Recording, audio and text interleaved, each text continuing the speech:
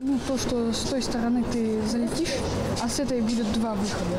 Летом эти школьники снова за партами, но уже по собственному желанию. И вместо ручки и тетради у них пульт управления и клавиатура. С виду это обычная компьютерная игра. На деле симулятор реального полета беспилотника. Когда вот подрастает человек, э, пока он не летает, он не знает, как летать, и поэтому надо вот таким заниматься.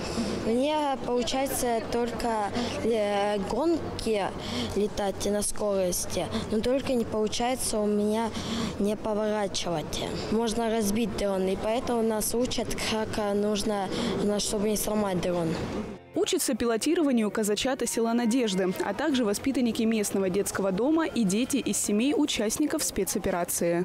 Мы сейчас обучаем казаков, э, своих детей военно-прикладным каким-то моментам. Ну, это много таких клубов. Но большая востребованность именно теперь еще в технических знаниях. С дальнейшим, ну, кому как пригодится, потому что ну, в мирной жизни умение владеть дроном тоже есть. Тем более сейчас а, сделана федерация по спортивному а, полетам на дронах. Она вошла в Министерство а, спорта России. Будут организовываться дальше соревнования уже на федеральном уровне. Ну, это первые шаги к этому тоже. Мастерство пилотирования детьми уже закреплено. Пришло время реальных полетов. Первоначально проект создавали для обучения управлению беспилотниками участников СВО. Теперь старшие товарищи пришли передать свои навыки детям. Да, все спрашивают, интересуются, что, как и для чего это нужно.